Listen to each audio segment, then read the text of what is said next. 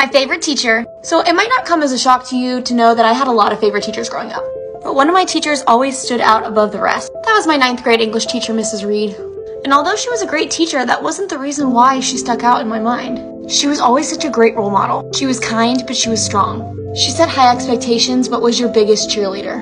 And that year, she convinced me to join the speech and debate team at my high school. And that team truly changed my life.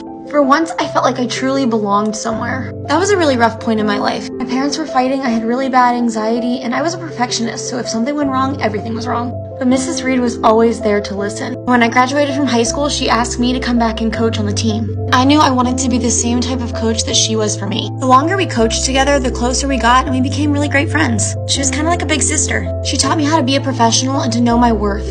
She taught me to make my own decisions and to not live my life for other people and I am forever grateful. Every student deserves their own Mrs. Reed.